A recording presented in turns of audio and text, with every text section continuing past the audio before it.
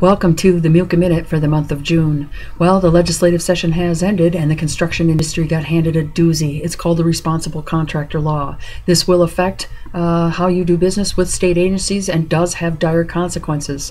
To learn more and prepare your company for this, we highly recommend you attend a seminar being held by Seaton Peters Revenaugh on Wednesday, June 11th from 8 a.m. to 10 a.m. at the Hilton Garden Inn in Bloomington. For more information, go to seatonlaw.com. That's S E A T O N L A W.com.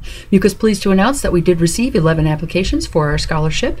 Um, the committee did select four very deserving award winners. We'd like to congratulate all the applicants and wish you the best of luck on your future endeavors. Our DC fly-in is June 9th through the 11th. We have a full slate of legislative visits scheduled, including a visit with the National DBE Director, Martha Kinley, in the Department of Transportation. Should be a good conversation. Finally, our golf outing is Thursday, June 26th at Majestic Oaks. We're starting to fill up. Register now, www.muca.org. Stay safe out there.